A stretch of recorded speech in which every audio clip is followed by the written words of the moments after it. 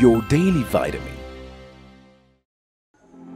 But you should not have gaze on the day of your brother in the day of his captivity, nor should you have rejoiced over the children of Judah in the day of their destruction, nor should you have spoken proudly in the day of disgrace.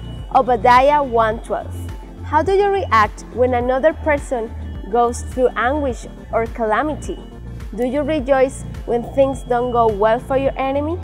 Be careful. Don't be quick to judge, question, or point out your neighbor who has fallen in disgrace. God is attentive to your attitude and expects you to have mercy on others as He had with you. Therefore, He will not allow injustice to be overlooked. Your daily vitamin.